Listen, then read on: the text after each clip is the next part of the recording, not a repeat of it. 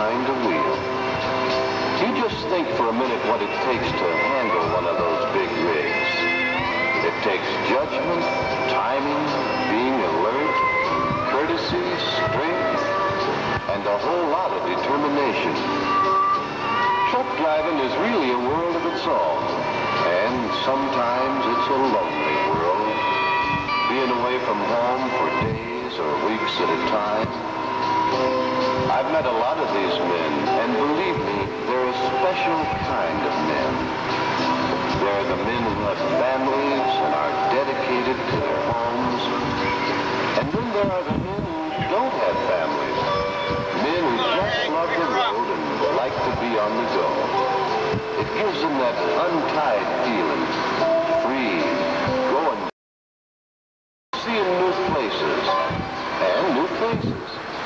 Pretty waitress maybe, uh, listening to a jukebox while he's having coffee and pie and, well, in some truck stop a long, long way from home.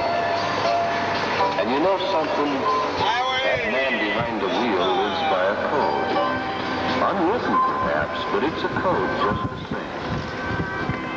And that is that the man behind the wheel watches over the lives of everyone he meets on our highways.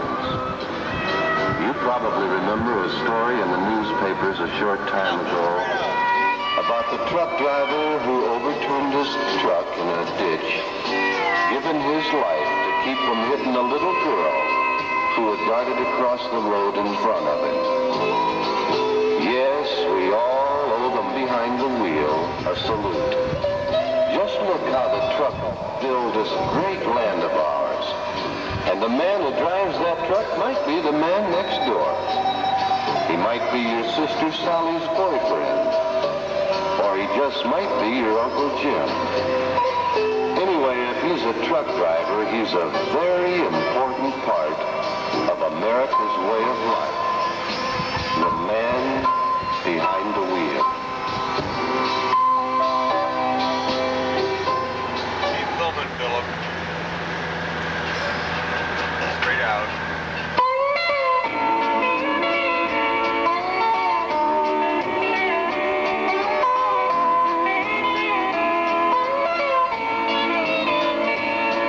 A lot of folks stop at truck stops.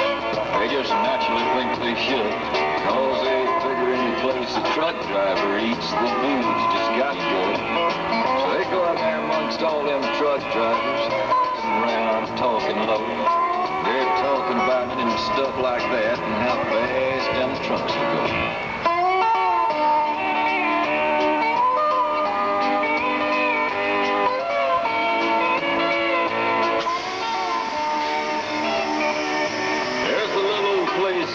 66 where a lot of the drivers stop and get their kicks. Haircut. Beef Road? No. Next time. Little straight ahead.